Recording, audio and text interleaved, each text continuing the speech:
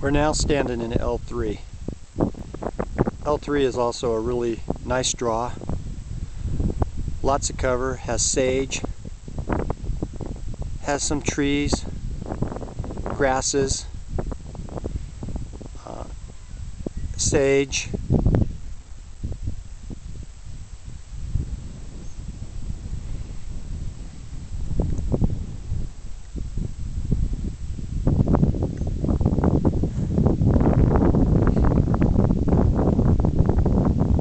has a long deep draw.